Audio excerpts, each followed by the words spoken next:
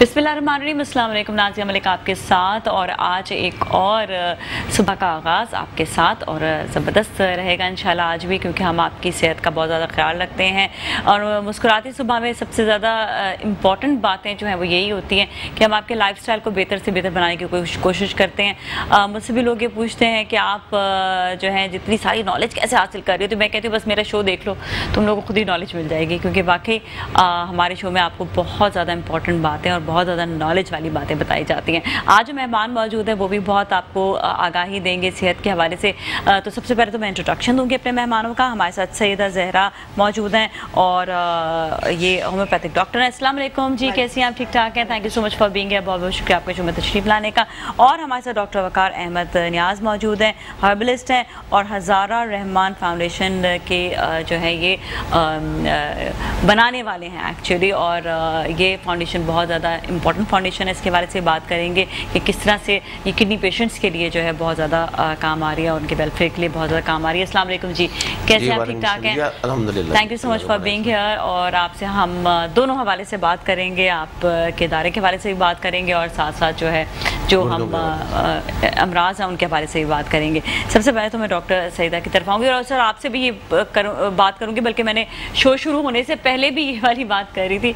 हम लोग हमेशा होम्योपैथी के हवाले से बहुत ज़्यादा मिथ्स रखते हैं या बहुत ज़्यादा हमारी अपनी सोच होती है कि होम्योपैथिक का इलाज आखिर क्या है? होम्योपैथिक है क्या? लोग एकदम एक क्वेश्चन आता है अच्छा होम्योपैथिक एक बस स्टेरॉयड है। इसकी दवाइयों में स्टेरॉयड होता है। बस ये वाली बात सोचकर जो है, उस चीज़ को एंड कर देते हैं। लेकिन जब आप होम्योपैथिक की मेडिसिन के बारे में पढ़ेंगे, उनके इंग्रेडिएंट्स के बारे में पढ़ेंगे, आपको खुद मैं कह रही हूँ, आप जाएँ गूगल पे जाके सर्च करें तो आपको कहीं पे भी किसी भी दवाई में स्टेरॉयड नहीं मिलेगा। जबकि मैं बड़ी शॉकिंग हुई हूँ पिछले दिनों में कि कई एलोपैथिक डॉक्टर्स ने मुझे स्टेरॉयड दी और वो बताते नहीं है कि वो उसमें कितनी मकदार की कुछ ना कुछ स्टेरॉयड्स मौजूद हैं। तो ये बड़ी एक सेंसिटिव बात हो गई है कि इंग्रेडिएंट्स के बारे में जानना बड़ा ज़रूरी होता है कि आपकी मेडिसिन में क्या चीज़ मौजूद है। तो सईदा जी, आप मुझे बताइएगा सबसे पहले तो हमके होम्योपैथी के बारे में थोड़ा सा थोड़ी सी आगाही दें लोगों को। थोड़े उनके बारे में पता चले आके होम्योपैथिक मेडिसिन हैं क्या? ऐसे तो नहीं जर्म, जर्मन वाले यूज़ कर रहे होते ना कि सारे स्टूडेंट्स खा रहे होते हैं जर्मनी वाले ऐसा नहीं है होम्योपैथिक में जब बात करते हैं तो जैसे एलोपैथिक में मेडिसिन हम यूज़ करते हैं इसी तरह हमारे पास होम्योपैथिक में भी सेम मेडिसिन है जैसे एलोपैथिक में है हम्म। फ़र्क सिर्फ़ इतना है कि उनके पास रेयर फॉर्म में है हम्म। या जिसे हम रो फॉर्म कहते हैं हाँ। उस फॉर्म में है हमारे पास होम्योपैथिक में वो पोटेंटाइज फॉर्म है। जैसे हम ये कहते हैं ना लोग हमें कहते हैं कि अल्कोहल मिला हुआ है। जी इसमें तो 90 परसेंट अल्कोहल है। 10 हम्म। परसेंट आपकी मेडिसिन क्या इफ़ेक्ट करेंगे? हम्म। तो जो 10 परसेंट मेडिसिन का इफ़ेक्ट है ना वो बेसिकली उस 90 को ना कवर कर लेता है। उसकी वजह से हमारी बॉडी पे बहुत अच्छे इफेक्ट्स आते हैं। नेगेटिव इफ़ेक्ट नहीं आते हाँ। अब अगर आप हम बात करें स्टेरॉइड्स की तो नेगेटिव इफेक्ट्स देते हैं। एक स्टेज पे जाके लेकिन जहाँ पे ज़रूरत है स्टार्ट हम ये नहीं कहते कि आप ना लें भाई जहाँ पे ज़रूरत है वहाँ पे वहाँ पे ज़रूरत पड़ेगी आपको तो आपको लेनी पड़ेगी। लेकिन क्या होता है कि हम लोग कुछ जो जल्दबाजी है ना हमारी उस जल्दबाजी की वजह से हम ये कह देते हैं कि स्ट्रॉइड्स लो आराम लो अपना काम हाँ। वो ये नहीं देखते कि वो स्ट्रॉइड्स एक स्टेज पे जाके इफेक्ट्स देना खत्म कर देते जब वो इफ़ेक्ट देना खत्म कर देंगे फिर आप कैसे अपने लिए क्या करोगे? फिर आप जान फिर आप बचाएँगे? और और हाई डोज पे जाओगे। हम्म, हम्म। एक स्टेज पे आके वो खत्म हो वो भी हाई डोज भी फिर नहीं काम करेंगे। नहीं काम करेंगे। तो यहाँ पे हमारे पास यही इफेक्ट्स हैं। अब लोग कहते हैं स्लो है स्लो क्यों है? क्योंकि आप ऑलरेडी स्ट्रॉइड्स ले लेके इतने आदि हो चुके हो आप कहते हो कि मेडिसिन इफ़ेक्ट ही नहीं कर रही। जब आप ये सोच लोगे कि मेडिसिन इफ़ेक्ट नहीं कर रही तो फिर कैसे होगा? मैंने कई ऐसे पेशेंट्स भी देखे हैं जो सिर्फ़ एलोपैथिक लेते थे लेकिन उसके बाद स्ट्रॉइड्स लेते थे। उसके बाद आके कहते हैं कि नहीं अच्छा आप दे दें। मैं कहा आप इस्तेमाल करके मेडिसिन देख लें। नहीं इफ़ेक्ट लगता अच्छा मतलब ये कि जब आप स्ट्रॉइड इस्तेमाल कर लिए उसके बाद होम्योपैथिक वो उसके बाद आ रहे हैं। उसके तो बाद फिर वो क्योंकि हाँ। उसके बाद हमें फिर ये करना पड़ता है कि हमें उसको एंटीडोट करना पड़ता है। कैसे? कैसे? मेडिसिन के थ्रू। ठीक है। हम मेडिसिन देते हैं जो हमारी बेहतरीन मेडिसिन है जिसका नाम नक्स होमिका है। हम्म। हम उसको यूज़ कराते हैं। उस मेडिसिन से ये होता है कि स्टेरॉइड्स के इफेक्ट्स हमारी बॉडी से ग्रेजुअली कम होना शुरू हो जाते हैं। ठीक है। जब अच्छा, वो कम होना शुरू होते हैं हाँ। तो हमारी मेडिसिन के इफेक्ट्स भी आपको मिलना शुरू अच्छा कितने मिकदार के स्टेरॉइड जो है वो हो तो फिर उसके बाद फिर मेडिसिन जो है वो वैसे मैं जनरली एक सवाल कर रही हूँ ये भी डिपेंड करता है हमारे इम्यून सिस्टम पर अब एक वीक इंसान पर आप हाई डोज स्टेरॉइड्स दे दोगे तो उस पर इफ़ेक्ट तो करेगी लेकिन उसके बाद उसके ऊपर बहुत कम मेडिसिन इफ़ेक्ट करेंगे। ओके फिर मेडिसिन जो हैं वो? वो अपना इफेक्ट्स कम दे देती है। और राइट ठीक है सही है। अच्छा इसके अलावा ये कि मेडिसिन में जो एक कम वो ये जो मैंने बात बोली कहते हैं कि डॉक्टर साहब आप बताइएगा कि हर मेडिसिन में कहते हैं ओहो हो होम्योपैथिक नहीं खाइएगा उसमें तो स्टेरॉयड होते हैं। ये जो बात है ज़रा क्लियर करें। बिस्मिल्लाह सबसे पहले तो ये कि हमें पता ही नहीं है स्टीरस होते क्या हैं हाँ। अक्सर लोगों को नहीं पता। हाँ, सही है। और स्टेरॉइड बेसिकली मेडिकल में खुद दिए भी जाते हैं। हाँ, हाँ। जहाँ पे ज़रूरत होती है ज़रूरत है। देखिए हम वो हाँ उसके खिलाफ नहीं है लेकिन ये कि जहाँ ज़रूरत है वहाँ पे दिए जाएँगे अच्छा कुछ कॉन्सेप्ट हैं जो बिल्कुल गलत लेकिन छोटी से छोटी बीमारी के लिए तो ना देना ये वाली बात नहीं देना चाहिए। पहली बात ये है कि हमें दो चीज़ें कॉन्सेप्ट गलत बन चुके हैं। एक तो ये स्टीराइज है। नंबर दो बहुत लेट आराम आता है होम्यो मेडिसिन से या हर्बल मेडिसिन से बिल्कुल गलत कॉन्सेप्ट है। मैंने देखा है कि मैं जब इस पहले फ़ील्ड में था एडिक्शन के फ़ील्ड में हम्म, हम्म। तो लोगों का नशे का इलाज किया बिलीव कीजिएगा विद इन मिनट आराम आता है। हमने जब हॉस्पिटल बनाया तो प्योर होम्योपैथी मेडिसिन से इलाज करते थे हम भी। और दोबारा विद इन मिनट के अंदर पेशेंट को रिलीफ मिलता है। मैं घंटों की बात नहीं कर रहा, मैं दिनों की बातें नहीं कर रहा। ये डिपेंड कर रहा होता है डॉक्टर के ऊपर कि उसका कितना नॉलेज है, कितना एक्सपीरियंस है, उसको कितना पता है। अब लेकिन बैठने से मेडिसिन निकाली जाती है कि किसी के बैठने से, किसी के बात करने से, चलने से, उसके, आप समझ लेते हैं ये सल्फ़र का पेशेंट है, ये बेलाडोना का है, ये नक्समिका का या किसी आर्सेनिकम का पेशेंट है। अब ये डिपेंड कर रहा है डॉक्टर के ऊपर हम्म। मसला कहाँ पे आ रहा है कि हमारा इतना नॉलेज होता नहीं है इतना एक्सपीरियंस होता नहीं है हम डॉक्टर जो बन जाते हैं हम्म। और वो एक्सपीरियंस ना होने से और वो पता नहीं चल रहा होता कि मैंने कौन सी मेडिसिन देनी इस पेशेंट को हम्म। तब हम कहते हैं जी स्लो आराम आता है ये खुद तो कुछ लोगों ने तो कॉन्सेप्ट वैसे क्रिएट किया हुआ है माशरे में और ख़ुद जो डॉक्टरों के पास नॉलेज नहीं होता तो वो भी क्रिएट कर देते हैं कि भाई लेट आराम आएगा आहिस्ता आहिस्ता आराम आएगा। भाई क्यों आराम आएगा लेट कि इसके अंदर तो इसको मैजिक बोलते हैं इन मेडिसिन को। कि विद इन मिनट आराम आता है आपने दो ड्रॉप डाले और पेशेंट एडिक्शन छोड़ रहा है नशा छोड़ रहा है। मैं नाम नहीं लेना चाहूँगा बहुत बड़ी बड़ी यानी आप ओपियम छोड़ रहे हैं आप अफीम छोड़ रहे हैं चर्च हीरोइन छोड़ रहे हैं। कितने कितने बड़े नशे हैं। और विद इन आप दो ड्रॉप डालते हैं उसको बोलते हैं कि सेकंड की सुई देखो तुम्हें तीस सेकंड के अंदर रिलीफ मिलेगा। और बिलीव करे आता है रिलीफ और उसके बाद फिर वो वापस पेशेंट सबसे अच्छा रिज़ल्ट इसी में क्योंकि एडिक्शन का इलाज नहीं है मेडिकल में। हम्म। एक नशे से दूसरे नशे पे लगाया छोड़ा छुड़वाने के लिए भी वो ड्रॉल कंडीशन को खत्म करने के लिए मुख्तलिफ़ मेडिसिन का सहारा लिया जाता है। हम्म, हम्म। वो बंदा जाते सर फिर नशा करना शुरू कर देते हैं। Ninety five percent relapse case है एडिक्शन की फ़ील्ड में। होम्यो में मेडिसिन में ऐसा रिज़ल्ट बहुत अच्छे रिज़ल्ट हैं। मैं इस फ़ील्ड में रह के जब मैंने दोबारा मैं हर्ब्स की तरफ़ आया और मैंने इस पे काम किया और एक दुनिया में एक नई चीज़ को मुतारफ करवाया है। अल्कलाइन पे काम किया है एसड पे काम किया है। कि जो यूरिया क्रेडिट बढ़ जाता है हम्म। मैं डेल्सिस पे काम कर रहा हूँ। हम्म, हम्म, पूरी दुनिया के अंदर हम डेल्सिस को डिले कर लेते हैं। पूरे पाकिस्तान के अंदर जो बड़ा काम कर रहे हैं। अभी हार्वर्ड यूनिवर्सिटी दुनिया की बड़ी यूनिवर्सिटी है। पहले नंबर की यूनिवर्सिटी है। वहाँ पे रिसर्च दी हमने कि हम कैसे लोगों को डेल्सी से डिले कर सकते हैं। कैसे डेल्सी से रोक सकते हैं। और वहाँ मेरी हमारी रिसर्च गई है उन्होंने पचास बंदों का डेटा मांगा। पचास बंदों का डेटा दिया हमने। जिसमें पंद्रह बंदों को वो ले जाना चाह रहे हैं अमेरिका।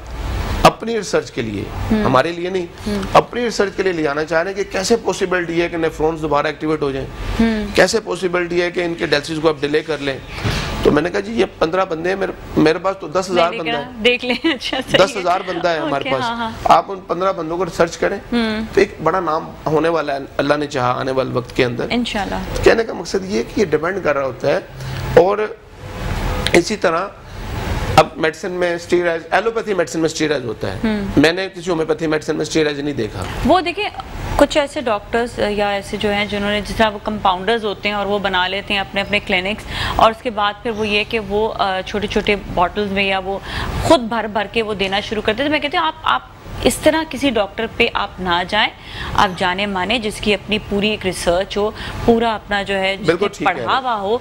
सर्टिफाइड हो आप उनके पास जाएँ। आप हर एक के पास जिस तरह चले जाएँगे तो आपको क्या मेडिसिन दे रहा है आपको पता नहीं। अब आपने जिस तरह एक्सप्लेन किया कि ये ये मेडिसिन होती हैं, आपने एक्सप्लेन किया ये मेडिसिन तो वो पता चलता है। तो इसी तरह ही जो है आपको जानना ज़रूरी है कि आपको मेडिसिन कौन सी दी जा रही है। और आपको डॉक्टर्स वही बताएँगे, जो खुद पढ़े लिखे, जानने माने और जो सर्टिफाइड हैं। ब्रेक की जाने जाएँगे ब्रेक वापस मिलेंगे। मजीद हम डॉक्टर साहब से बात करके हमारे साथ ही रहें। नाजरीन, एक बार फिर हम आपके साथ मौजूद हैं। और अब हम जो है बात करेंगे डॉक्टर वकार अहमद न्याज से और ये रहमान फाउंडेशन है। और रहमान फाउंडेशन जो है इसके हवाले से थोड़ी सी इन्होंने बात अभी बताई है कि किस तरह से किडनी का इलाज जो है होम्योपैथिक के ज़रिए। और हर्ब्स के ज़रिए ये डिले कर सकते हैं। डायलिसिस जो है देखें कई ऐसी चीज़ें होती हैं कि आप मेडिसिन खाते रहे खाते रहे उसके बाद फिर ये कि डायलिसिस डायलिसिस की तरफ़ आ जाते हैं। तो बड़ा मुश्किल हो जाता है। तो ये इन्होंने ये बताया ऐसी रिसर्च इन्होंने निकाली है जिससे ये है कि डिले हो सकता है डायलिसिस आप कम अज़ कम अपना जो है क्यों ना हम जो है वो डिले की तरफ़ आएँ? क्यों इतनी जल्दी डायलिसिस की तरफ़ जाया जाए? तो बहुत से ऐसे फ़ायदे हैं। इसी तरह हम ये देख रहे होते हैं कि होम्योपैथिक मेडिसिन के बहुत ज़्यादा फ़ायदे होते हैं कि वो कम अज़ कम जो है चीज़ों को बहुत आहिस्ता स्लोली ग्रेजुअली आपको मेडिसिन दे रहे हैं जिसके साइड इफ़ेक्ट्स हमने देखा है कि नहीं होते ये थोड़ा सा मुझे बताइएगा इसके हवाले से भी और आपने जो इलाज बता रहे हैं उसके हवाले से बताइएगा। आ, देखिए जी रहमान फाउंडेशन हम फ्री पाकिस्तान के अंदर एक ऐसा बड़ा मसला हेल्थ के हवाले से हम काम कर रहे हैं इस वक्त। और ये गुर्दों के हवाले से वो लोग जिनके गुर्दे ख़त्म हो जाते हैं और डेल्सिस में जाना पड़ता है। तो उनके लिए सबसे पहले तो हमने डेल्सिस सेंटर बनाए हैं। और फ्री बनाए हैं पूरे पाकिस्तान के अंदर। ठीक है। इस वक्त लाहौर में फैसलाबाद जेलम इस्लामाबाद कराची और सियालकोट के अंदर हमारे डेल्सी सेंटर काम कर रहे हैं। ठीक है। और तकरीबन रोज़ाना 130 खानदान हमारे से वाबस्ता हैं जिनका फ्री बात करते हैं कि इतने ज़्यादा मतलब डायलिसिस जाने से बेहतर आप ये कह रहे होते हैं कि क्यों ना जो है इसको डिले इस कर दिया जाए। अब हम इस तरफ़ हाँ। आए तो डेल्सिस अपनी जगह पे हम कर रहे हैं। वो हो रहा है। वो तुम्हें साढ़े सात मिलियन का खर्चा मतलब आ रहा है बात कि। उसके खिलाफ नहीं है लेकिन ये कि डिले हो जाए तो क्या बात है हाँ, भाई? तो दिल डायलिसिस- करता है कि जाके अपने आप को मशीनें लगवाए? अच्छा हम आज चाहेंगे इस प्रोग्राम के अंदर कि हम चाहें कि हम कैसे बच सकें डेल्सिस से प्लीज़, प्लीज़ कैसे सेहतमंद वाली ज़िंदगी एक अच्छी हाँ। ज़िंदगी गुजार सकें सेहत वाली। गुर्दों के वाले से अगर हम बात करें मैं बेसिकली किडनी स्पेशलिस्ट हूँ। गुर्दों पे मैं काम कर रहा हूँ पिछले अठारह साल से। और एक कोशिश में लगा हूँ कि किस तरह लोगों को डेल्सिस से डिले किया जाए। हम ये नहीं कहते कि डेल्सिस पे नहीं जाने देंगे। वो जाएगा लेकिन अगर उसके पंद्रह साल रुक जाए। बिल्कुल सही आपने बात की। पहले तो बताइए कि कौन कौन से ऐसे बीमारियाँ होती हैं जिसपे आप मतलब किडनी की जहाँ तक हम डायलिसिस तक पहुँच जाते हैं? देखिए जी गुर्दे अगर हम बात करें तो दस वजूहत हैं गुर्दे ख़राब होने की। उसमें पहली बड़ी वजह है शुगर, दूसरी वजह है शुगर का हाई रहना, दूसरी वजह है ब्लड प्रेशर का हाई रहना। ये दो मेन वजह काज हैं गुर्दे ख़राब होने की। तीसरी वजह है प्रोटीन का आना यूरिन के अंदर बहुत ज़्यादा प्रोटीन का खारिज होना अल्ब्यूमिन का खारिज होना। और इसी तरह इसके अलावा और जो वजुहत है क्यों कैसे खारिज होती है? क्या हमारे मेरे भी मेरे भी खारिज होते हमारे सबकी आती है प्रोटीन का खास लेवल है 150 तक। और अगर हम हम नहीं पता चलता हमें जो हम टेस्टिंग नहीं करवाते कि हमारे यूरिन में कितनी झाग आ रही है। कितना कितना ये टेस्ट क्या होगा और ये टेस्ट प्रोटीन का टेस्ट होता है। अलहदा से होता है अलहदा से होता है। यूरिन के अंदर पता चल जाए कि वन प्लस आ रही है टू प्लस आ रही है थ्री प्लस आ रही है। मतलब सिर्फ़ जाके ये बताएँ टेस्ट वाले को कि ये मुझे प्रोटीन टेस्ट करना टेस्ट करवाना ठीक है। है अच्छा अब इसके तीन बड़ी वजूहत हैं गुर्दे खराब होने की। चौथी वजह पानी का कम इस्तेमाल करना पानी का साफ़ इस्तेमाल ना करना। इसी तरह हमारे कुश्ता जात हैं कि जो अभी हम बात करते हैं ना स्टीराइज पे वो असल में जो हकीमों ने बनाए हुए हैं कुश्ता जात वो हैं स्टीराइज होते हैं। उनमें किसी हद तक कह लें। क्या चीज़? जो मुख्तलिफ़ किस्म की मेडिसिन है ताकत की मेडिसिन कह लें। हाँ हाँ हाँ ये भी एक वजह है गुर्दे खराब होने की। फिर हमारा सेल्फ मेडिकेशन है हैवी किस्म के एंटीबायोटिक हम खुद ही ले लेते हैं जाके डॉक्टरों के पास। वो भी एक वजह बनती है पेन किलर फिर हमारा एक्सरसाइज का ना करना वर्जिश का ना करना। हम खाने बहुत अच्छे खाते हैं बर्न नहीं करते एक्सरसाइज नहीं करते। अच्छे खाते हैं या तेल वाले खा रहे होते हैं? हम उसको अच्छा ही समझते हैं।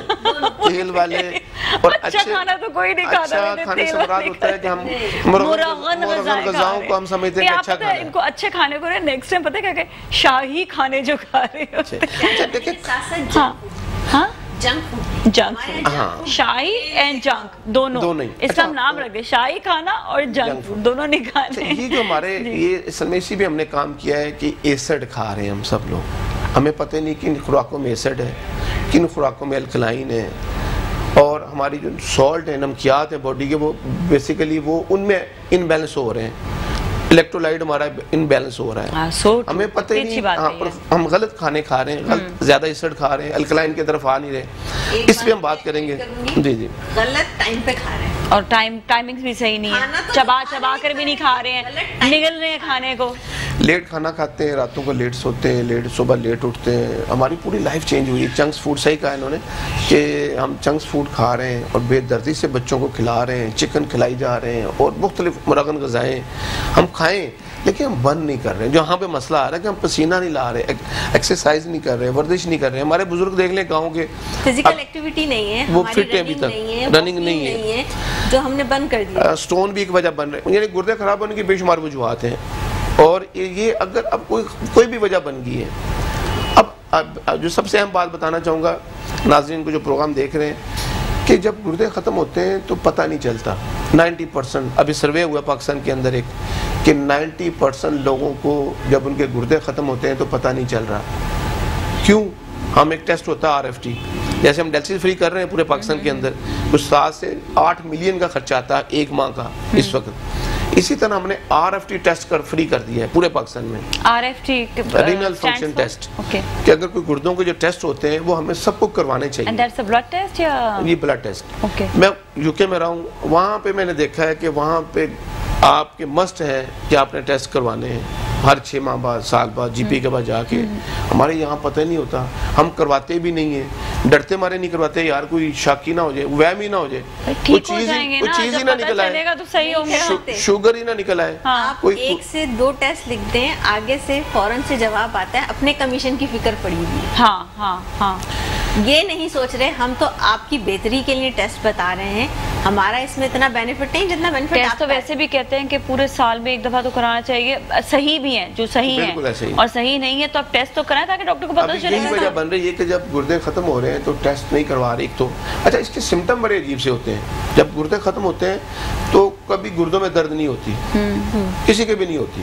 कहाँ क्या क्या होता है? होता क्या है? बड़ा देखें ये बड़ी खतरनाक बात है जो मैं चाहूँगा नाजरीन को नहीं बताना बताएँ बिल्कुल बताएँ। होता ये है कि जब गुर्दे खत्म होते हैं हमें एक सिम्टम सिम्टम का पता है। वो सिम्टम होता है आँखों के नीचे स्वेलिंग का आना। ठीक है। अच्छा ये ज़रूरी नहीं है कि लाजमी आँखों के नीचे स्वेलिंग हो या पाँव पर स्वेलिंग हो। सिम्टम बड़े अजीब से होते हैं वो होते हैं मतली का होना। हाँ। दिल खराब होना। हाँ। वॉमिटिंग का आना। हाँ। सांस का फूलना। हाँ। घबराहट होना। बेचैनी होना। रात को लेट रात को आँख का खुल जाना। तकिए दो दो रख के सर के नीचे लेटना। और ये सारी कैफियतें हो रही हैं गुर्दे खराब होने की। ओके। ये सिम्टम आ रहे हैं ब्लड के अंदर तोफन ज़्यादा हो गया है। ब्लड के अंदर यूरिया तोफन ज़्यादा हो यूरिया गया ब्लड के अंदर यूरिया की खास मकदार है मेरे भी और आपके भी। डॉक्टर साहब के और सब जो प्रोग्राम देख रहे हैं वो है दस से पचास तक। क्रिएटिनिन 0.5 से लेके 1.5 तक 1.1 तक। इसी तरह और जो सोडियम है पोटाशियम है कैल्शियम है फास्फोरस है इनके खास रेशो है। अब हो क्या रहा है कि इनके अंदर बेतदाली आ गई है और एसिड बढ़ा हुआ है जिस्म के अंदर यूरिया बढ़ा हुआ है क्रिएटिनिन बढ़ा हुआ है कोलेस्ट्रॉल बढ़ा हुआ है कोलेस्ट्रॉल भी एसिड है यूरिक भी एसिड है। जब सब चीज़ें इनबैलेंस होगी अब क्या हो रहा है? जहाँ जहाँ से खून गुजर रहा है स्टमक से गुजर रहा है, पूरी बॉडी के अंदर वो वो सिस्टम जैम खराब हो गया और आपका मतली आ रही है दिल खराब हो रहा है। हमें समझ नहीं लग रही हम गलत तरफ़ जा रहे हैं। टेस्ट हम करवा नहीं रहे। हम गलत डॉक्टरों के पास जा रहे हैं। हम फकियाँ खा रहे हैं। हम समझते हैं मैदे का मसला हो गया। कोई गलत चीज़ खा ली। हाँ लोग हम गलत इलाज की तरफ़ जा रहे हैं। हम हाँ। समझते हैं सांस का मसला हो गया तो दमा हो गया या टीबी हो गई या हाँ। हार्ट का मसला हो गया।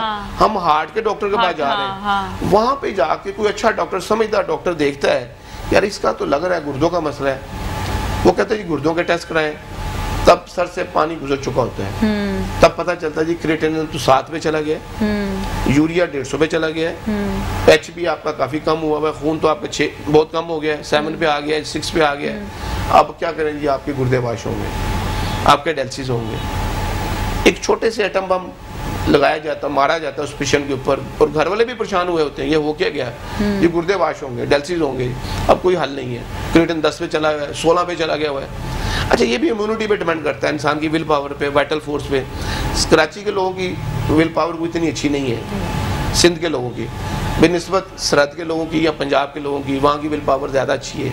वहाँ पे पठानों को मैंने देखा क्रिएटन बीस बीस पे लगे फिर रहे होते हैं। यूरिया दो चार सौ पे है, लेकिन उनको सिम्टम नहीं आ रहे। यहाँ पे चार पाँच क्रिएटन बढ़ता है, जाता है। यूरिया सौ सवा सौ सुबह जाता है तो सिम्टम आने शुरू हो जाते हैं। बहरहाल- बिकॉज़ ऑफ़ द एटमोसफेयर या उनकी अपनी माहौल जेनेटिक कह लें खुराकें कह लें एटमॉस्फेयर डाइट पानी कह लें।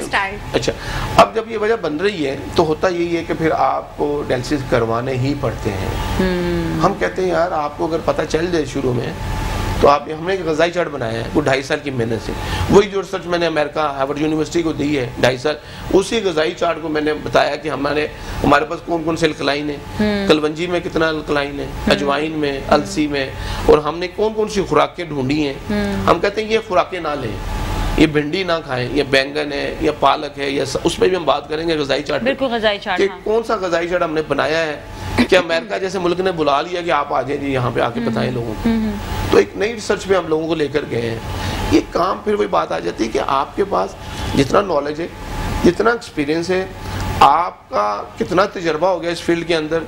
अब देखें ये कोई छोटी सी बात नहीं होती। किसी को ये कह देना कि तुम डायलिसिस नहीं करवाओ। अल्लाह न करे उसको कोई नुकसान हो जाए कौन हाँ, तो जिम्मेदार है? कौन जिम्मेदार होगा? हाँ। इस दुनिया में भी आप देनदार हैं और आखिरत में भी एक बंदे की आप लेकिन एक जान आपने बताया एक लिमिट होती है ये वाली कि जहाँ पर जो है वो डायलिसिस पे हैं। हम देखते हैं। लेकिन अगर ये लिमिट आ गई है तो क्या हम आपकी डायलिसिस करवाना चाहिए। हम अच्छा, करवाते हैं। लेकिन आप उससे पहले ही कह रहे हैं कि टेस्ट करवा लो टेस्ट करवा लो। डिले अगर बढ़ गया है तो उसको डिले करके ये गजाएँ ना खाएँ और ये में आपने बताया अब आप गजा की तरफ़ भी आ जाते हैं जरा सा। कि पालक बादी चीज़ें जो हो गई ना। इसको हम बादी चीज़ें कह लें या एसिड वाली खुराकें कह लें। मैं हब्स पे काम कर हूँ हो। Acidic गया, खुराकें जितनी भी हैं केला है चने की दाल है हाँ। माश की दाल है हाँ। इसी तरह बैंगन है बड़ा पालक है बड़ा गोश्त है। फिर इसी तरह एसिडिक तो ऑयल भी होता है। होता है तो इसीलिए तो हम कहते हैं कि ऑयल वाली चीज़ें कम लें। लेकिन लोग तो ऑयल भर भर के खा रहे हैं। आपको पता है जितनी भी बीमारी है ना सबसे पहले कहा, कहा जा जितनी भी बीमारी है फ्राइड चीज़ें नहीं खाएँ। अच्छा आप सुन के एक शायद एक नई बात सुन के हैरान हाँ। होगी कि जिसे हम देसी घी बोलते हैं हाँ। वो एसिड नहीं है वो अल्कलाइन है। अच्छा वो अल्कलाइन है। और and what about olive oil और ये जो ऑलिव ऑयल ये भी अल्कलाइन है। ये जो हम ये मुख्तलिफ़ नाम नहीं लेना चाहूँगा कंपनियों के Mustard oil? मस्टर्ड जितने भी बाकी हम ले रहे हैं हम जितने भी कुकिंग ऑयल ले रहे हैं ज़्यादातर एसिड है। एसिडिक है हाँ और हो क्या रहा है कि ऑल द कुकिंग ऑयल्स जो ऑल द कुकिंग ऑयल नहीं है लेकिन जैसे ऑलिव ऑयल है जैसे मैंने देसी घी बताया है ये इस्तेमाल हम इवन मस्टर्ड ऑयल भी अल्कलाइन है। अल्कलाइन है। हाँ। अब हो ये रहा है कि हम जब खुराकें ले रहे हैं बड़ी अच्छी या देसी घी ले रहे हैं हाँ। देसी घी खाना चाहिए हमारे नुकता नज़र से लेकिन हम बर्न नहीं करते वही बात आ जाती है कि हम कुछ भी खाएँ तो हम एक्सरसाइज नहीं कर रहे हैं। जहाँ पे मसला आ रहा है ये तो वो वजूहत थी जो मैंने बताई। देसी भी भी- घी भी खाएँ तो एक्सरसाइज तो कर लें। वो देसी घी भी तो बैठ जाएगा। मैं वही कह रहा हूँ ना कि एक्सरसाइज ही नहीं कर रहे हम। हाँ। वर्जिश ही नहीं कर रहे हैं बात वहीं आ जाती है। हमने अपना लाइफ स्टाइल ऐसे बना लिया है कि उस लाइफ स्टाइल की वजह से हम अपनी जो भी हमारी एक्टिविटी है हमने फ़िज़िकल छोड़ दी है। हर काम तो हम बैठे बैठे करना चाहते हैं। हम्म। अगर हम आज से पहले की बात करें उस जनरेशन में जो हमारे जैसे दादा हैं आज भी वो खाना खा के रात में वॉक कर लेते हैं और उल्टा हम लोगों को मोटिवेट करते हैं चलो मेरे साथ वॉक हाँ। करके आओ हम नहीं जाते नहीं थक गए अब नहीं बस अब बहुत हो गया हमने बच्चों की फ़िज़िकल एक्टिविटीज़ खत्म हो गई, उन्हें हमने हाथ में मोबाइल और टैबलेट दे दिया। मुझे याद है, अच्छी तरह हम छोटे होते थे तो हमारे बाहर गली में हमेशा जाके वॉक किया करते थे। और खाने के बाद एक रेगुलर सबका ही होता था, सारी फैमिली निकलती थी और वॉक किया करती थी। अब वो चीज़ जो है ना, वो चीज़ हम ये देख रहे हैं कि लोग जो है ना जाके चाय के ढाबे में बैठ जाते हैं। भाई, चाय के ढाबे में भी आप जाकर बैठे आप एक घंटा बैठे, एक घंटा, वहीं पर ही आप वॉक कर लें भाई। आपको कोई नहीं कह रहा, चाय के ढाबे के बाहर ही वॉक कर लें। वहाँ यही एक रीज़न है कि अब ये क्या शुरू में कॉन्सेप्ट क्या है? नहीं जी कुकिंग ऑयल इस्तेमाल कर लें। देसी घी छोड़ दें। देसी घी से तो आपका फैट बर्न नहीं होगा, आपको नुकसान होगा। नुकसान क्यों होगा? नुकसान तो उस सूरत में होगा ना जब आपने फ़िज़िकल एक्टिविटी बंद कर दी। और देसी घी से ज़्यादा आपको नुकसान कुकिंग ऑयल दे रहा है। कुकिंग ऑयल ज़्यादा दे रहा है हाँ ये बात तो है और प्लीज़ ऑयल को जो है इज्तनाब करें जितना हो सकता है कम इस्तेमाल करें और इस पर हम मज़ीद अभी बात करेंगे लेकिन जाएँगे ब्रेक के जाने ब्रेक के बाद वापस बताएँ हमारे साथ करें जी नाजरीन, एक बार फिर हम आपके साथ मौजूद हैं और बात हो रही है आज गुर्दों के हवाले से, आपके इलाज के हवाले से, हमने थोड़ा होम्योपैथिक के हवाले से बताया। डॉक्टर सईदा ने भी आपको बताया कि किस तरह से जो है होम्योपैथिक का इलाज जो है वो बहुत अच्छा होता है और डॉक्टर साहब ने हमें बताया, डॉक्टर बकार ने भी। लेकिन अब बात जो हम करने वाले हैं, थोड़ी सी वो हम किडनी पर तो बात करें, लेकिन डॉक्टर सईदा कुछ कहना चाह रही थी, आप कुछ कहिएगा? अभी ब्रेक से पहले आप कुछ गज़ा के हवाले से कह रही थी कि गुर्दों के लिए कौन कौन सी गज़ाएँ बेहतर आपने कहा ऑयल ऑयल नहीं खाना चाहिए। और ऑयल खाएँ भी तो आप कोकोनट ऑयल ले लें ऑलिव ऑयल ले लें देसी घी भी एक मिकदार में लेके लें। अच्छा मज़े की बात यह है कि जब हम खाना पकाते हैं ना तो नॉर्मल ऑयल जब डालते हैं ना जो सो कॉल जो ऑयल बड़ा ज़बरदस्त लोग कहते हैं ठीक है? उसको ज़्यादा डलता है वो। वो जल्दी जल्दी जो है ना वो पक जाता है वेपरेट भी हो जाता है। मुझे नहीं पता किस किस्म का तेल होता है। जब मैं ऑलिव ऑयल में पकाती हूँ या मैं मस्टर्ड ऑयल में खाना पकाती हूँ तो इतना सा तेल डलता है इतना सा इतने से तेल में पूरी हांडी बन जाती है आराम से तीन लोगों की। मतलब ये एक डिफरेंस मैंने बहुत बड़ा देखा है कि आपको ज़रूरत नहीं पड़ती है कि बहुत ज़्यादा आप ऑयल डालें। तो मज़ीद आप बताइएगा कि खुराक में क्या क्या लेना चाहिए हमें किडनीज़ के हवाले से? किडनीज के हवाले से हमें जिस तरह से अभी जो है ना डॉक्टर साहब ने कहा कि हमें एसिडिक फ़ूड नहीं लेना चाहिए। जैसे पालक की बात करें। अब अगर आप रात में पालक खाएँगे तो आपकी बॉडी में तो एसिड के साथ साथ आपका कैल्शियम इंटेक सबसे ज़्यादा हो जाएगा। ओह माय गॉड अच्छा फिर? जो आपकी किडनी को नुकसान देगा। हम्म, फिर दूसरी बात कहते हैं हम नॉर्मली सबको ये कहा जाता है कि रात में सोते वक्त गर्म दूध एक कप लाजमी लें। हाँ।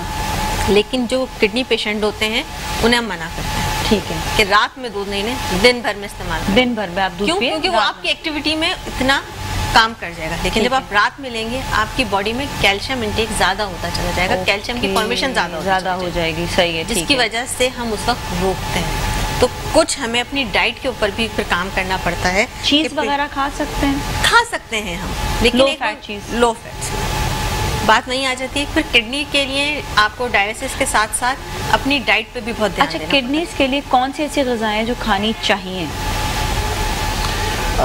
इस पर अगर हम बात करें तो अल्कलाइन पे हम बात कर लेते हैं। तो अगर हम मुझसे ये पूछा जाए कि हम कैसे सेफ़ रह सकते हैं तो एक चीज़ है पपाए।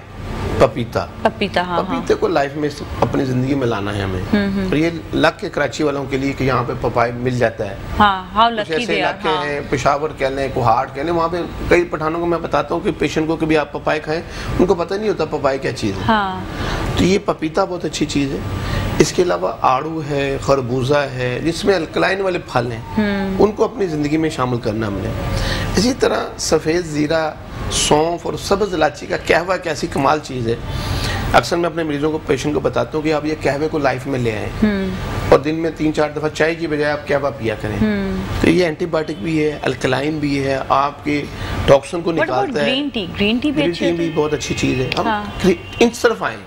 अब चाय जो है ये हमारी इजाद है दूध पत्ती पत्ती दूध ये हम बनाते हैं अच्छा, पाकिस्तान के चाय का भी है कि अगर इंग्लिश चाय पी जाए जिस तरह वो ऊपर से चाय और हल्का सा दूध इजंट इट इट बेटर अच्छा मैं नहीं? बता दूँ चाय होती है खाली चाय खाली काली पत्ती चाय, वो उसी को चाय बोलते हैं हाँ, बाहर हाँ। में रहा हूँ दूसरे मुल्कों में सऊदीया में हाँ। दुबई में वहाँ पे यू के अंदर जितने लोग हैं ये अरबी हैं ये कहवा पीते हैं या गहवा। पीते हैं? हाँ। अच्छा काली पत्ती के कहवे को चाय बोलते हैं। हाँ। हम जो चाय पीते हैं हम अपनी बनाई हुई है दूध पत्ती तो हम दूध पत्ती पत्ती दूध हाँ। का बादी मार रहे होते हैं हाँ। पत्ती डाल के। हाँ। वो यूरिया बन रहा होता है। हमारा चाय भी हम बंद कर देते हैं। जैसे अभी बात हो रही थी जब गुर्दे का पेशेंट बन जाता है तो उसके लिए दूध बंद कर दिया जाता है उसको। उसको पानी बंद कर दिया जाता है। पानी भी? पानी एक एक घूंट ले रहा होता है बेचारा।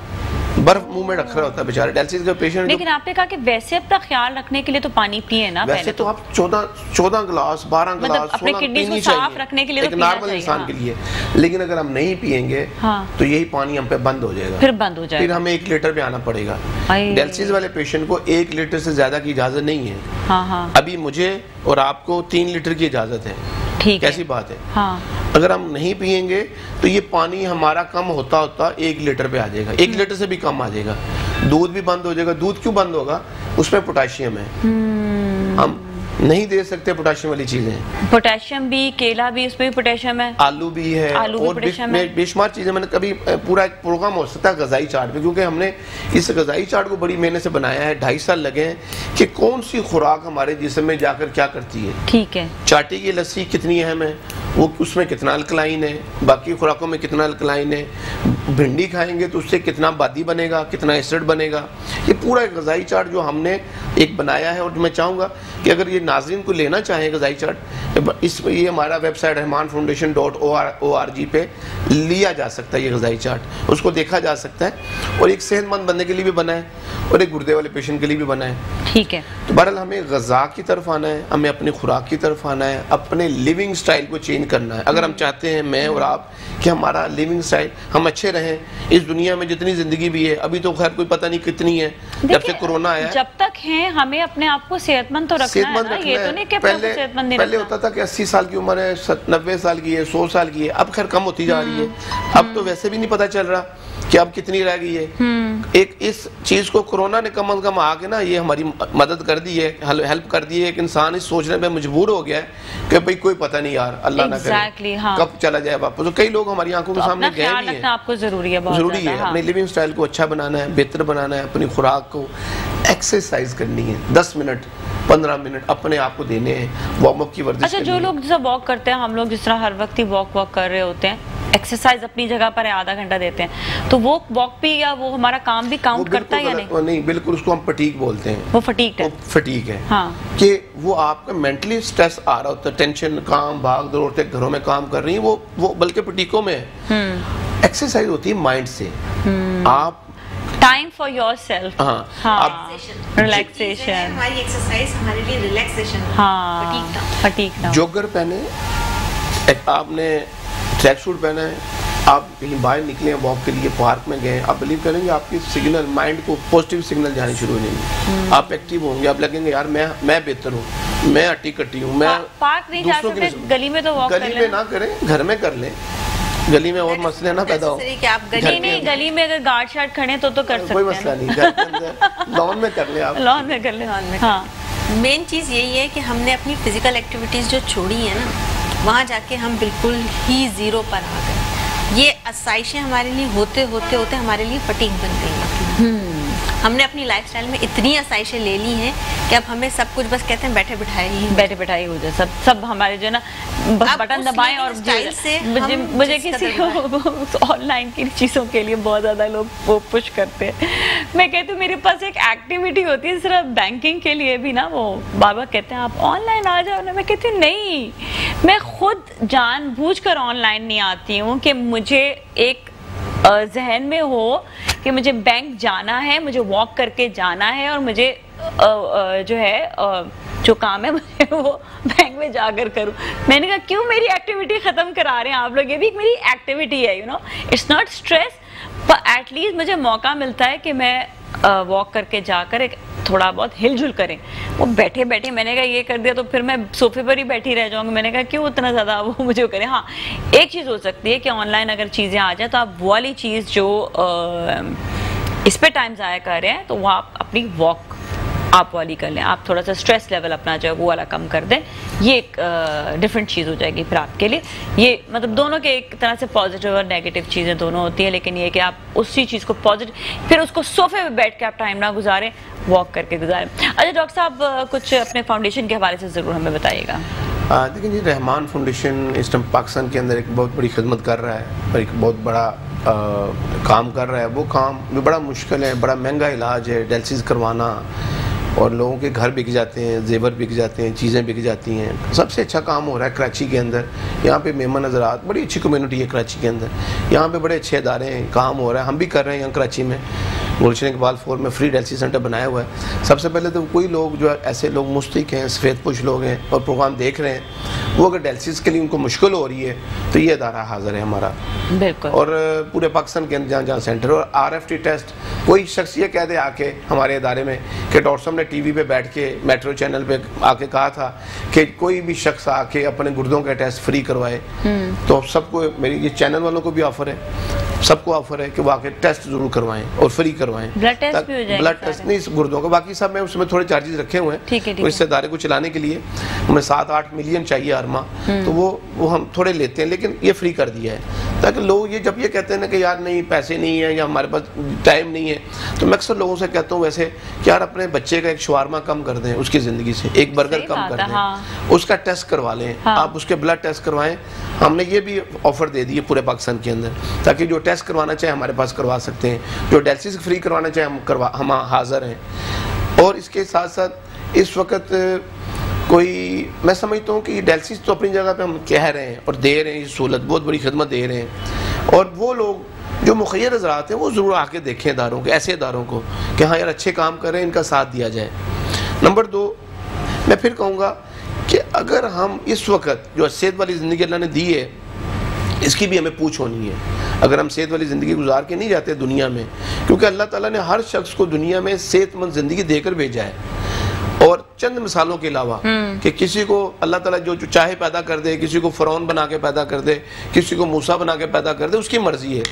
किसी को पाहज बना दे नबीना बना दे ये उसकी मर्ज़ी है। चंद मिसालें हैं। अदरवाइज़ हर शख्स को सेहत वाली ज़िंदगी देकर भेजा है और सेहतमंद ज़िंदगी गुजारने के लिए भेजा है। अगर हम बीमार हो रहे हैं मैं बीमार हो रहा हूँ या अगर आप हो रही हैं या जो भी नाजरन प्रोग्राम देख रहे हैं हम अपनी वजह से हो रहे हैं। हमारा अपना लिविंग स्टाइल अच्छा नहीं है। हमारे खाबे अच्छे नहीं हैं। हमारी खुराकें अच्छी नहीं हैं। हम हम एक्सरसाइज नहीं कर रहे हैं वर्जिश नहीं कर रहे उस तरह ज़िंदगी नहीं गुजार रहे जैसे हमारे प्यारे नबी ने गुजारी। बिल्कुल। अगर हम खुराक की बात करें तो नबी पाक सल्लल्लाहु अलैहि वसल्लम ने देखा जाए तो ज़्यादातर उन्होंने अल्कलाइन वाली खुराकें ली हैं। सादी सादी खुराकें अल्कलाइन वाली। सब्ज़ियाँ कद्दू शरीफ को पसंद फरमाया है शहद को पसंद फरमाया है अंजीर को और जैतून को और चीज़ें जो नबी पाक ने पसंद फरमाई उनकी तरफ़ आना चाहिए हमें।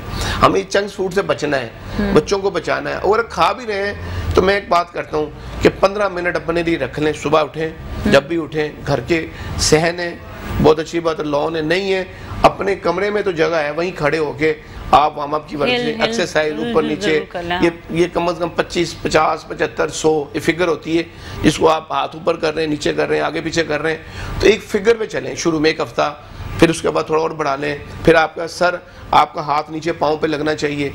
आप एक्सरसाइज करें अपने आप गरमाएँ अपने आप को। हमारे टॉक्सन नहीं निकल रहे। हमारी बॉडी से टॉक्सन खारिज ही नहीं हो रहे। ये यूरिया क्रिएटिन क्या है? हमारी खुराक की वेस्टेज है। हम खुराकें ले रहे अच्छी हैं। हमारी प्रोटीन ज़्यादा खारिज नहीं हो रही जिसम से।